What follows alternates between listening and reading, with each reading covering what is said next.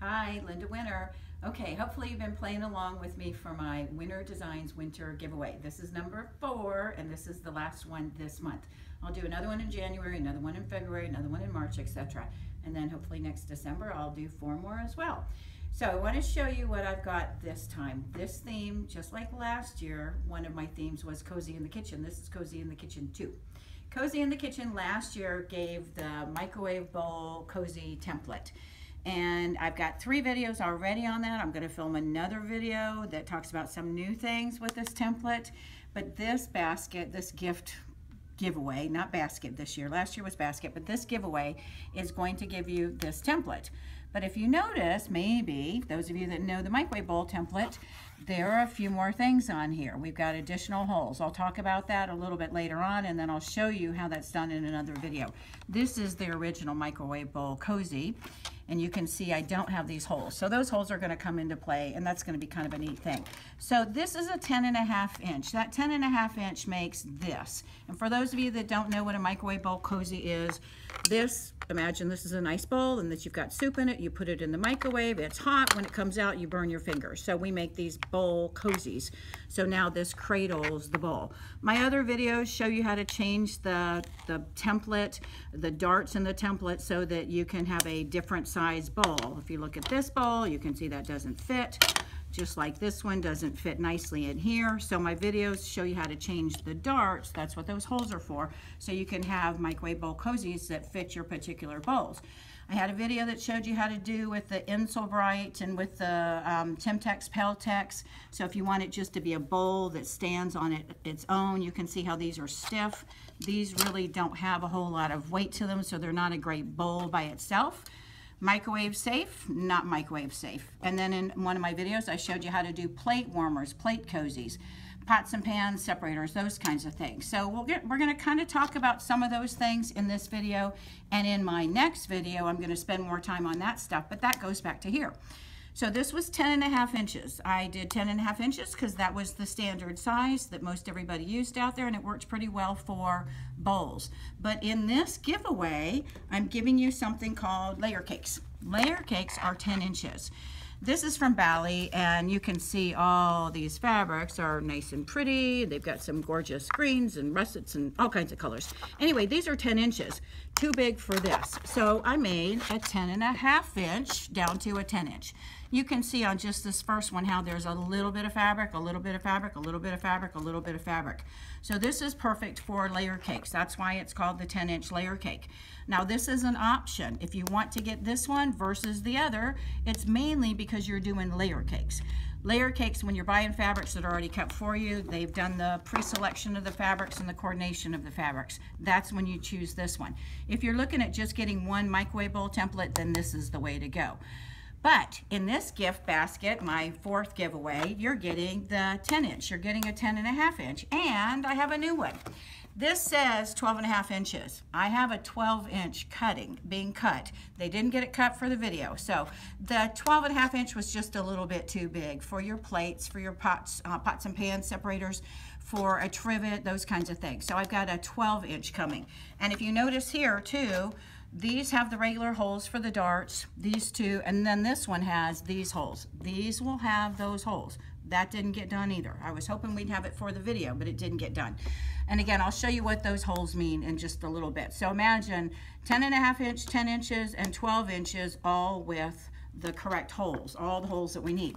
And then I'm going to give you circles. You're going to get two circles. This is not, not the right size circle either. They didn't get my circles cut. So you're going to be getting two circles. We'll go through what the circles are for a little bit later on too. Okay, so you're getting those three templates for the temp for the microwave bowls, and then you're getting the circles. Then you're getting the layer cake fabric. Because the 12-inch template fits perfectly with Tim Holtz's line of fabric. These eclectic elements, this is one of my favorite lines of fabrics. I'm giving you the 12 inch pieces also because this will line up perfectly. So when you go to cut, you'll just cut off the edges for those circles. So you're getting this with this as well. So you're getting 10 inches, you're getting 12 inches. Then you're gonna get fabric that you can for what use for whatever. This, the pasta theme here with the black and white check, that you can make a whole bunch of these to match and coordinate your kitchen. That's what my sister picked out for me to make her for Christmas this year. So those guys there are coming with it too. Now, if you notice, I've got potato fabric here and I've got tortilla fabric here. We'll go through that in a few minutes. And then there's flannel. Flannel that's 100% cotton is really great for the inside layer, which we'll talk about a little bit later on too. So we'll see that. Okay, we're gonna come over here and talk batting. Batting, we already know from my third video that we need 100% cotton batting. But the big thing is no scrim. Scrim is that layer of kind of like a tulle that they put on top of the batting when it hasn't been pressed so that they can poke, poke, poke all those holes. And that's not 100% cotton. So we need to have cotton batting that has no scrim. So when you're shopping around for cotton batting, no scrim is what you're looking for. So what I've done is I've given you in this giveaway three different types of batting. This is what you can get at your local Joann's and this Wrap and Zap is a nice weight. It's not too thick and it's not too thin. But for those of you that have had problems with your sewing machine th sewing through all these layers, then I've given you a thinner batting. I don't know if you can see this weight here. It's a lot thinner than this. Hard to tell, but I can really feel the difference between this and this. And this is in my fourth video that I'm going to be doing. I'll pull this out and show you the difference there too. So I've gotten a really heavyweight batting here. Again, 100% cotton batting, no scrim. And then I've got a lightweight batting, and then in between is the Wrap and Zap. So you're going to get three pieces of batting to make a whole bunch of the um, microwave bowls as well. And then we got some candy, of course. I got some cherry, uh, chocolate covered cherries. I've got some um, Hershey's Kisses, a little bit different bark, um, some popcorn, and then we need thread. We've got black, we've got cream, and we've got white. Again, 100% cotton batting. Those of you that remember from last year, I gave you one of my, my dad's bowls that he turned. This year, I'm giving away one of his little goblets. And you can put in here your pins, your whatever bobbins, whatever it is you're using, or you can put the threads that I'm giving you to go in this as well. And then I've got some of these guys here for you too. So this is the giveaway that you're going to be getting if you're my winner. All of these things. I want to pull over my last piece of this that you're not getting these done, but I want to show you why I have this fabric and what else you can do with it. Inside of here, I don't know if you can tell, but this is lumpy bumpy because it's a potato holder. So this guy now can be for your potatoes when you throw these in the microwave. So it is, can you see that shape? That is the shape of the microwave bowl cozy.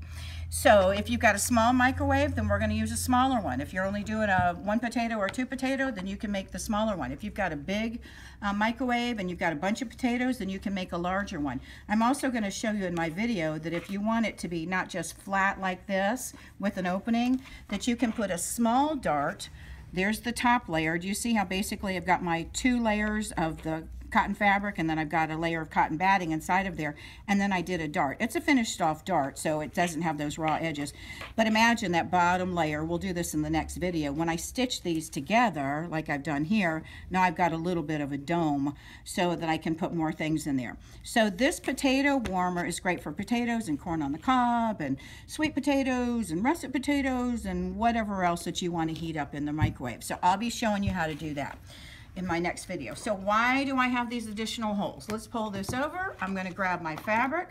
You're watching my other video to see how to cut. We're going to pretend that I've got this all lined up nice and neat.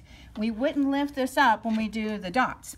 So the original intention of my microwave bowl cozy and why this has been such a big hit, everybody loves this template. Thank you very much to everybody out there that's been purchasing from me. Why this is so great is that these holes give me darts. Basically what you do is do a dot, a dot, a dot, a dot, a dot. All these dots, darts here, we're gonna do dots. Those dots give me those darts. Let's pull one of these guys over here. That gives me the dart. The dart on the top, the dart on the bottom, those are all going to be lined up. And it's the same length from here to here. It's the same width from here to here, and they're always perfectly centered. So if you're making a whole bunch of these, every single one will look exactly the same. But I had several of you guys, thank you very much, that sent in emails and requests for holes going down the middle. Because originally when you did this, I had you, I had a piece of fabric over here, I had you once you cut, you basically folded in half and then drew a line and then folded in half diagonally and then drew a line. And that was your stitch line because when you look at these guys, you can see there's basically an X. But I had people say, hey, if you've already got the holes there, why not put dots for those lines. So I've got those dots and what we'll do, and again, I'll do this in more detail on the other video. We line this up. My glasses just fell on the floor so I can't see, but we're gonna pretend that I've got those lined up and we would basically draw a line and then we turn this in the other direction and we would draw a line. We stitch those first, then we stitch the darts. I'll go through this in that next video. But what that's going to allow me to do is get that X on the bottom and the X on the top. When you use the template with the holes, that's going to ensure that where this starts here, this X, is the same place. I can't tell if that's in the same place or not, but sometimes, not sometimes, but a lot of the times, this isn't lined up with this because when you fold it, it doesn't always give us the exact center. With the holes that are here, we're gonna have that exactly centered. So it's gonna give us just a nice, more professional look. And what does it do? It makes it nicer, better, faster, easier. It better be good, it better be fast. That's my whole thing. Everything is based on it better be good, it better be fast. So those are brand new. So again, this new template, those of you that, that have this template already, I'm going to see if I can, on those templates that are already in existence, these guys here, if we can take a drill press and basically drill a hole, drill a hole, drill a hole, drill a hole. So we would drill a hole. So those of you that want to do this on your templates that you've already gotten from me, it, it probably is possible just with a hand drill or a drill press to drill holes. If not, you can, you know, send me send me the old template back and I'll send you a new one for an upgrade cost. I don't recommend doing that because you're paying for the shipping and then I'm paying for the shipping and the shipping is what really gets you and it's what really gets me. So we don't really want to probably do that. But if you see me at a trade show and you want to do that, there will be an upgrade cost. Give me your old one and I can give you a new one with the holes. But again, I'm hoping with the drill press that we'll be able to go through and just drill, or with a hand drill to drill through. I'll let you know how that works out. That was supposed to be done earlier in the week and it didn't get done, so I was hoping to be able to tell you that now. So anyway, I'll film another video that shows you how to do this and how showed how shows you how to do the potato warmer and those kinds of things. But that's this giveaway, this last uh, Winner Designs winter giveaway. Okay, I want to make a plea out there for you guys, something new. I have not done Pinterest. I have not done Instagram. I have not done Twitter and I've had requests to do that. I want you all, when you enter this giveaway, tell me, do you do Pinterest? Do you do Instagram? Do you do uh, Twitter? And if so, then talk about me.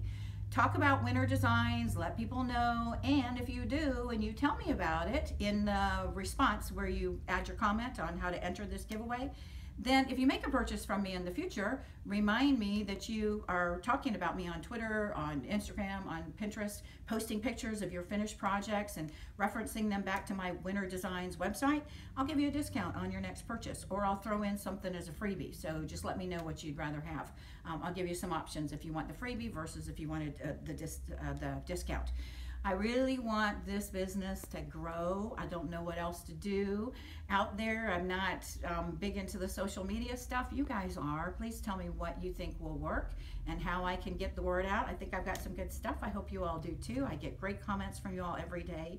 Thank you so much for letting me know and giving me feedback. It keeps me going on days that I say, what am I doing? Having to drill holes and to cut the templates and file them down and all that stuff. So I really appreciate y'all being out there. Let me know what you think um, on the giveaway. So this giveaway, what we're gonna do for this giveaway, the rules are gonna be exactly the same, but a little bit different. You have, have to have already liked me, Winner Designs for Sewing and Quilting on Facebook.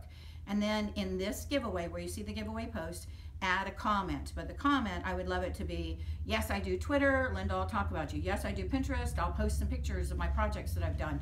Uh, yes, I do Instagram. I'll take some pictures of some things that, or the templates in my fabric getting ready to cut, whatever it is. I don't care. Or no, I don't do Pinterest. I don't do this. I don't do that. And I don't want to. Or I don't do it, but I want to do it. Give me some feedback on whether I should go into that line of um, marketing and social media. It's a lot of time that I think it will take, and I'm already spending a lot of my free time when I'm not doing trade shows on this business. So I want to know if you guys think it's worth it. So I would love some feedback from you all. You all are my customers out there, and I want to know how to reach you better and how to reach more people because we've just hit a little teeny tiny portion of all of the sewers and quilters out there.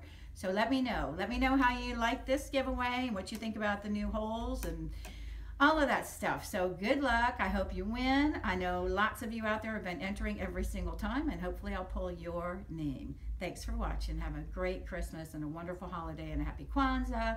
and everything else out there too. Whatever it is that you celebrate, celebrate with your family and enjoy and in peace and in love. Thanks for being here.